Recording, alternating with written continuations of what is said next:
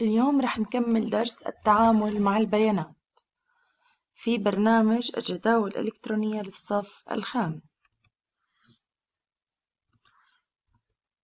اليوم رح ناخد نسخ البيانات ونقلها. تستخدم مجموعة الحافظة كليب بورد في من شريط أدوات في تبويب هوم لنسخ البيانات ونقلها. اللي موجودة عندي هون. هي تبويب home. موجودة عندي clipboard فيها أدوات لنسخ البيانات ونقلها. في عندي هاي الأداة اسمها paste اللي هي لصق وشكل المقص هو قص أو نقل وشكل ورقتين متتاليتين اللي هي نسخة عمل نسخة. تمام؟ هلأ لنسخ بيانات خلية أو مجموعة خلايا أولا نحدد الخلية أو الخلايا التي نريد نسخ البيانات منها. نختار الأمر نسخ أو copy من مجموعة الحافظة. نضع المؤشر في الخلية التي تريد النسخ إليها ونختار الأمر لصق من مجموعة الحافظة. هاي الأمر copy هاي الأمر نسخ بحكي لك هون في ملاحظة. في حال نسخ مجموعة من الخلايا نحدد الخلية التي نريد أن يبدأ اللصق منها. أنا من وين بدي يبلش لصق عندي؟ أو بحدد مجموعة خلايا فارغة بعدد الخلايا المنسوخة. مثلا خلينا نروح نشغل برنامج جداول إلكترونية Start All Program Microsoft Office وبختار الإكسل اللي هو الجداول الإلكترونية. لنفرض أنا هلأ عندي مجموعة بيانات. ماشي. أربعة خمسة ستة. بدي أعمل لهم نسخ. بحدد الخلايا اللي بدي إياها باجي على تبويب home على مجموعة clipboard بختار copy أو كبسة يمين بختار copy بروح على الخلية فاضية من هون بدي بلش النسق اللصق عندي أو بحدد ست خلايا وبعمل paste أنا بدي أجي على أول خلية بدي أعمل لصق فيها وباجي على paste هيها شايفين؟ هاي نسخة هون نسخة هون. أو كبسة يمين وبضغط على paste تمام؟ نرجع للدرس. هاي نسخ البيانات يعني باخد نسخة والنسخة الأصلية بتضلها مكانها. أما نقل بيانات خلية بحدد الخلية أو الخلايا التي يريد نقل البيانات منها بنفس الطريقة. بس بنختار الأمر cut اللي على شكل مقص. نضع المؤشر في الخلية التي تريد النقل إليها ونختار الأمر لصق paste. خلينا نجربها نرد مرة تانية. نرجع على برنامج الإكسل. بدي هاي اللي أنا محددهم حاليا أعملهم قص. باجي على cut برجع تحت. بعمل بيست. بلاش كبسة يمين خلينا نرجع على الحافظة. هاي. شايفين؟ انمسحت عندي من هون وانتقلت إلى المكان الجديد نقل. أما النسخ بيحتفظ بالنسخة القديمة وبيعمل نسخة منها. النقل لا بيشطبها وبينقلها على مكان تاني. واضح؟ تاني موضوع عندي اليوم التعبئة التلقائية.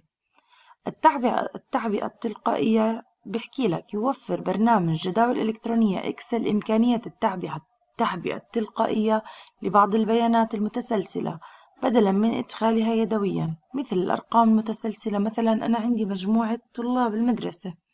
عندي مية طالب. ليش أقعد أكتب واحد اثنين ثلاثة للمية؟ أنا ببلش بأول كم رقم وبعمل تعبئة تلقائية.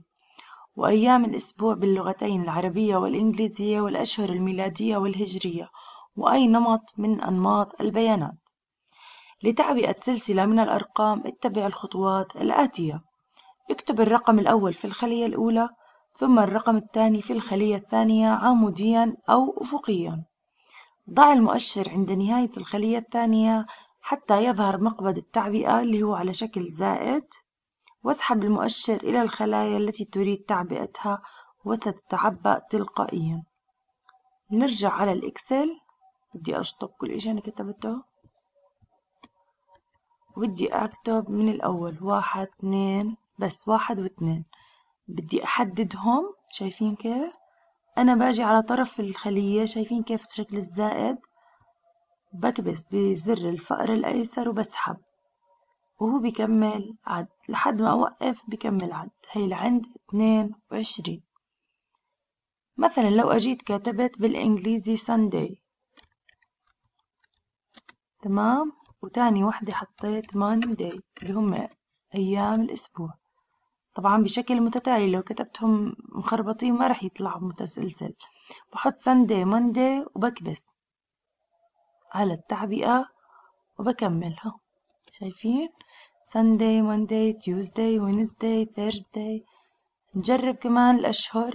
هاي جانيوري وفبريوري الثاني مثلا هاي الاختصارات خلينا نجرب بقبلهم أو لا. نحدد اثنين ونحدد وبنسحب يبلهم شايفين؟ جانيوري فبراير مارش إبريل. بدل ما أرجع أكتبهم أنا هو كتب لي إياهم.